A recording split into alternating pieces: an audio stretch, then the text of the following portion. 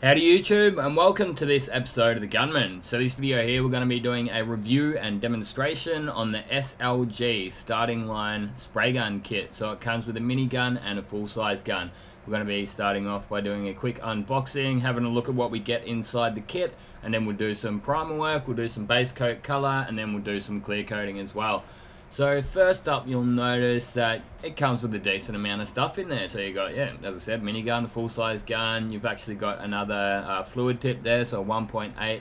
it comes with 1.3 in the full-size gun, and then you've got the 1.0 in the minigun. So on paper, it actually seems like a pretty reasonable kit, uh, and it's reasonably priced. I think you can get them for around $200 Australian, uh, don't quote me on that. Uh, that will obviously vary depending on where you get it from and the deal that's going on at the time.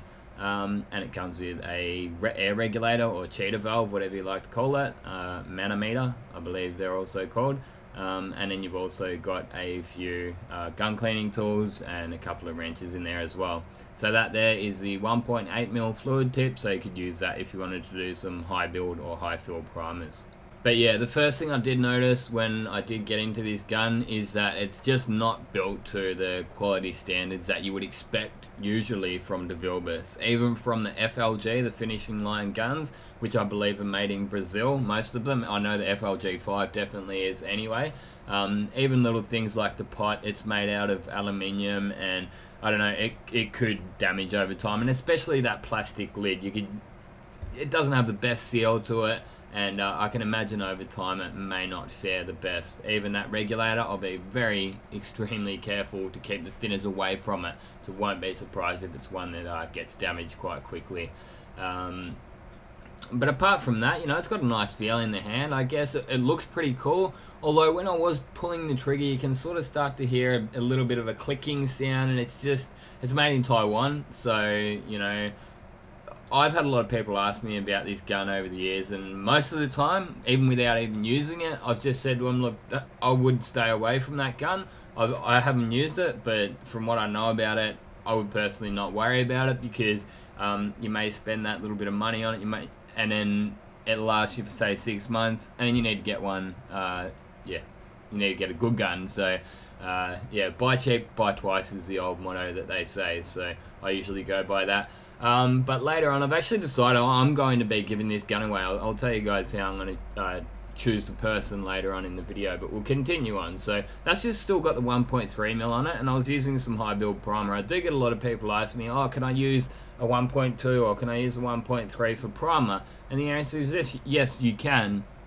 But for most of the time, like uh, when I think of primer, I think um, two pack high fill, high build primer uh, on filler repairs. Uh, what I was using it for there was mainly just a primer surfacer on that door. So uh, the panel guy bought the, uh, the, the, car over, it got primed with a 1.8 mil. It turned out that the repair wasn't quite right. I started blocking it down. I had to put a little bit of fine filler in it. I finished it off nice and fine. Uh, we say 320 grit two coats of 2K primer, put lights on it, and uh, just more of a, bit of a surfacer. Like I didn't really need to block into it too much later on. If I did, it would be with some uh, finer grit sandpaper. But um, yeah, if you want to do real full uh, high build primers, I would recommend say 1.8 to 2.2 mil even. Um, but I did decide to include a little bit of footage of me cleaning the gun out because a lot of people I think over clean guns and it's probably more the, the novice uh, DIY guys they think that they have to pull the gun apart every single time they use it but it's simply not the case. I'm a spray painter, I use these guns day in day out and there is no need to clean them out uh, to pull them apart every time you clean them out. So you obviously notice first up what I did was just to wipe the bulk of the paint out I then put a bit of thinners into it and I then back pressured it. So I've got a bit of a gun here I can demonstrate it on and you can see on the screen too. So the paint comes through this chamber here. Obviously comes down through the pot and goes through, there's a chamber inside there. By pulling that trigger and then putting the pressure back through it, that's going to clean most of the paint through that chamber there and it's going to be pushing it, forcing it back up into the gun and dislodging it. So there's really, most of the time, no need in pulling your air cap off even, although I wouldn't say no. If you just want to pull your air cap off, I'd say you're pretty safe to do that. Um, but pulling your needle and fluid tip off, it's just not necessary. For me, it's a matter of time. I just don't have time. Like I clean probably 15 to 20 guns out per day. Um, so I don't have time to go and pull them apart every single time I uh, do um, use a gun. Uh, and it, as I say, it's just simply not necessary either.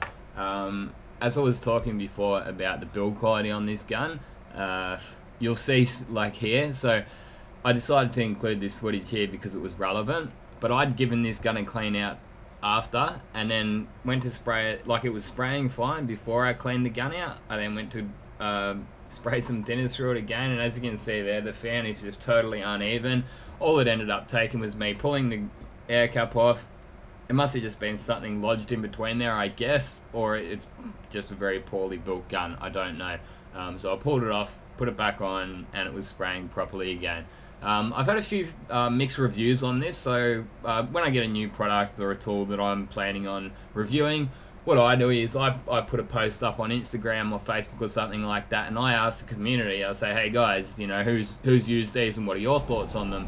Um, as I say, there's some fairly mixed reviews, but most people seem to say that they're a pretty average gun. You know, some people say, hey, I bought it, it lasted me a day, it just went to the graveyard. I might have grabbed the pot off it, grabbed the regulator off it, and it just got uh, thrown to the side as spare parts. But then on the other hand, there's some people that have said, hey, I've had that gun for years and totally love it. You know, had it for two years and uh, they've even tagged me in a few posts and they seem to have been able to get some pretty decent results out of it.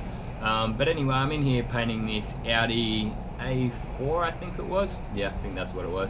Um, and yeah, just spraying some base coat down with it. I find that it needed a little bit more pressure than my standard uh, uh, my GTI Pros, my Pro Lights, even my Sagolas. Um, so I'm cranking it right up to 3 bar. Anything below that and it just didn't seem to atomize very well. Um, but it's definitely capable of getting the paint on nice. The, the fan isn't too small. Um, probably there's two guns that I that really in my memory have got very poor reviews out of me. That was the Binks Trophy Series and the Star S4000. And the reason for that was that the fan is way too small.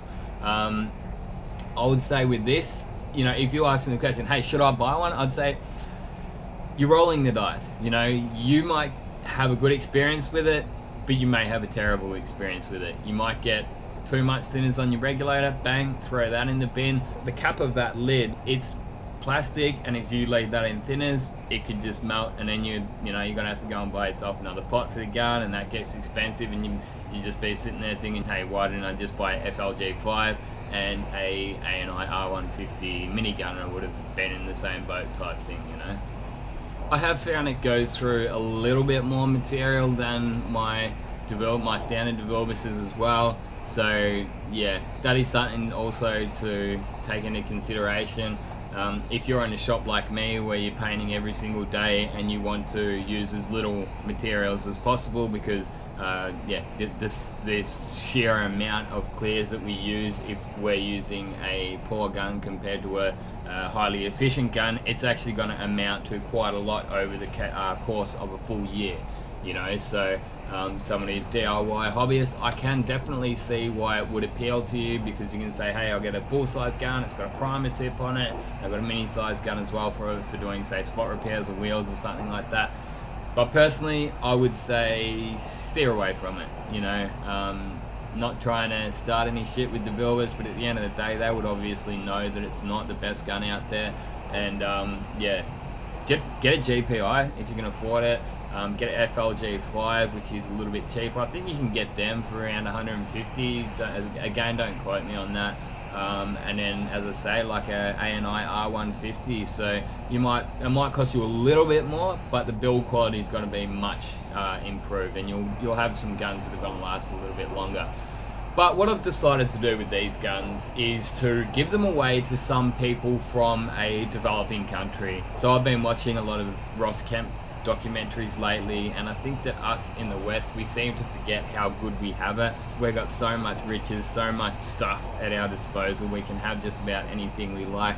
There's a lot of people around the world that don't, and a gun like this could possibly mean a lot more to some people over there. So all I say to you guys, if uh, obviously you need to be able to speak English or use some sort of a Google Translator to leave a message down below in the comment section and tell me why you should have the gun. So if something sort of really catches my eye, it's literally I'm just gonna pick a comment. Um, so there's not going to be any time frame. If I read a comment that really just sort of touches my heart, I guess, or something like that, um, well, then I'll be giving you the gun. So, um, and obviously, if you're from the West, or you know, if you're from Europe, Australia, you know, the developed world, you're not eligible. Um, but yeah, say Philippines, Thailand, uh, somewhere in Africa, maybe South America. Um, I'm happy to give the gun away to someone like that. I'll sort out the shipping costs and everything. So I'll leave it at that for this video, Gunners. I hope you have enjoyed watching and uh, stay tuned for the next one. Until then, get out there and paint some shit. Thanks for watching, and this has been another Gunman production. Goodbye.